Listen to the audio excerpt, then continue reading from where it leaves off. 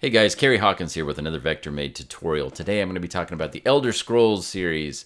Um, the Elder Scrolls 6 teaser trailer came out yesterday, and I thought, wouldn't it be cool to show everybody how to do the text in that uh, teaser trailer? And so let's just jump on in.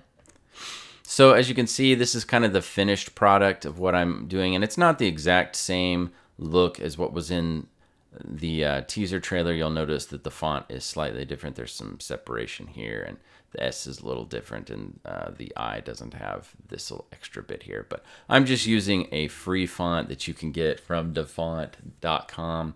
And I believe this was used in some of the previous Elder Scrolls series. So anyway, this is just to kind of give you a basic look that is similar to what was in the Elder Scrolls series. So let's uh, pick this apart and really um, see what it looks like in depth, okay?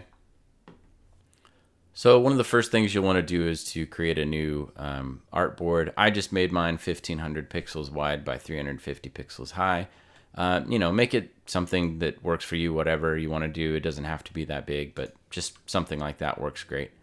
Um, what I would do is uh, go ahead and and fill this in with like black probably. Let's do the paint bucket and just make that a black background. Okay, cool and then um, come in with your text and start typing in the Elder Scrolls VI. I need to make that Planewalker font, which it is, and let's do white for now for the color. And then let's center it. So, oh, Edler. I don't want Edler.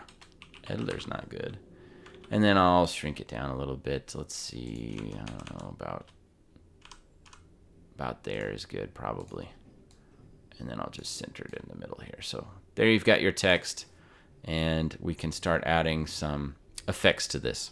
All right, so the first thing we're gonna do after we've typed out our text over here is gonna add some effects to this text layer. So come over here and make sure that your text layer is selected and grab the effects here. And let's just come into bevel and emboss first, okay? We want an inner bevel we want to go chisel hard and depth at 100 is fine, up is good, and 32 is good. Um, zero on softening I think is fine. And then this we might change to, uh, let's do 40 and 20. I like that. Make sure anti-alias is, is checked. I think this is the standard uh, gloss contour, and I think that's fine. You could mess around with a couple of these others. Um, to give you some different looks. That's pretty cool, and it might be cool, possibly. But I found that this got the best shading out of everything in there, just you know, without without messing with it too hard. Um, you want to have white with color dodge on, so 100. I did 100% opacity, and then I multiply with and get this color. Um, I felt this was a nice little bronzy dark tone that worked really well, and then so hit OK. I also added contour and I didn't change anything else. Just this, the first option here, anti-alias to 100%. Nothing fancy in that whatsoever. But just clicking that adds a little bit of change down here, and you can notice it. It's subtle, but I like it, and a lot of times I'll have that checked. So um, the other thing we want to do is do a color overlay, and this is the color I'm using right here. Here are my values. Again, gives you just sort of a bronze um, I'm going for like the medium bronze tone here, and then I'm allowing for the bevel to give me the highlight and the shadow. Um, so that's kind of where you get this bronze from really dark bronzy to almost white, but just a little bit of bronze color in the in the highlights. And so that's what we do for the bevel effects on the text.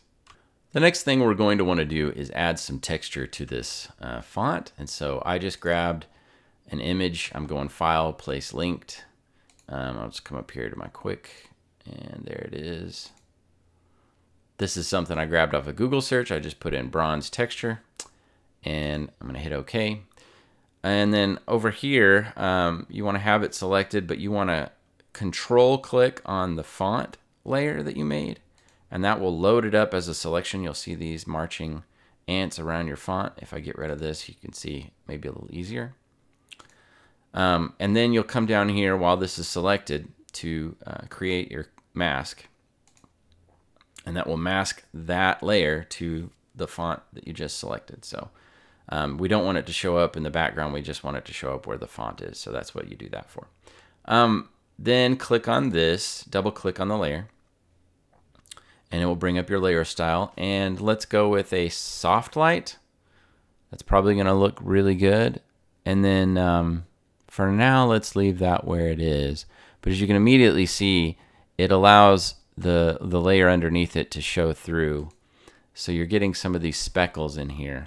And I'll zoom in just a little bit. It's going to pixelate at this size, but you can see some of the texture that gets in there that uh, we want to have in this picture. Um, the only thing I don't like about this is that it changes the color. See, this is a little more muted, more like the original um, from the trailer, and then this is a little bit mm, shinier, more yellowy.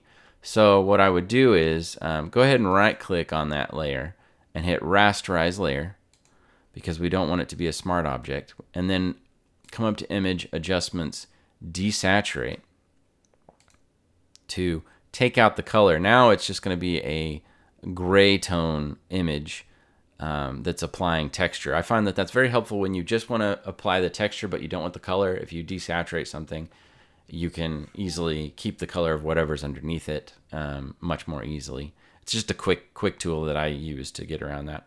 Um, the other thing I would do is probably come in here and do a new adjustment layer. And let's do a levels. And let me pull that over here say OK. You'll want to right click on that layer uh, that you just created and say create clipping mask so that it just applies to the bronze texture. We don't want it to apply to anything else. And then you get these little sliders in the properties menu here. You'll get the, these are the dark, um, darkest tones, medium tones, and light tones. And if you pull this up, basically you're saying, you know, bring up the dark to just meet here and it, you'll see what it does it enriches the darks of your of your tone but like kind of losing information at the same time um, and then this will do the same thing on the re, in the opposite it'll increase lighter lights and, and and kind of bring the contrast in a little bit um, usually you want to do that just a tad on these kind of I mean can, you can kind of see the the most of the tones are going to be midtones here anyway. This this is sort of a graph of what is in your picture, but um, I definitely want to bring up the dark tones so that I get a little bit more grain in the dark. And then maybe with this slider, you know, you could adjust the midtones a little bit. Maybe, maybe we go about there. I think that looks pretty cool. And I'm good with that. I like that. Now, if you want to come down here, you can actually you know, change how much dark or lighter in the picture as a total. And, and usually I don't end up using these sliders as much, but because um, I find these are a little bit, I can get what I need out of these sliders up here um, without ever having to mess with the output levels. So I like the way that looks. That looks cool. Um, let's go with that for now. Something else you might consider is double clicking on the bronze texture that you created and come down to these sliders. This is a blend if slider. It's under blending options. And just have that on gray and you might check what you know what this looks like if you drag these sliders. Now, if you just click and drag, you're going to get the whole slider. But if you're holding alt and you click on just one of them, you'll get a half slider. So what's cool about that is you kind of get a if you're sliding this up with both sliders, both halves of this slider, you're going to just say, you know, we don't want certain amounts of the, the low end in this layer or in the underlying layer, right? But if you do the alt and then click and drag, you're giving it a range so that it, it kind of gradually softens from the darkest to, you know, wherever you are here. Um, and I tend to, I like that. That usually looks better because I don't want to like completely get rid of the dark tones. I want to just have them soften up a bit. So maybe I come out to here and maybe I do the same thing with the lights. Maybe you come in just a little bit and do that. Um, or you, you come to your underlying layer and do the same thing. I'm holding Alt while I click this and just see what difference that makes. And I don't know if you guys can see it on your screen, but on my screen, you know, this just softens up that texture a little bit um, because sometimes these textures can be just a little overwhelming. So let's go with that. I'm just going to randomly select that, you know, just eyeballing it and see what it looks like. I think that looks cool because I've got a little bit of texture here, but it's not overwhelming. It's not just in your face, um, nasty looking. So Anyway, that's my tutorial on how to kind of get an Elder Scrolls series look on your font. Um, leave any comments down below. Let me know what you guys think of this. Obviously, it's not the exact same as what's in the the teaser trailer, but this is you know kind of a quick way of doing something that looks very similar. And uh, like and subscribe and share, guys. I'll see you in the next video.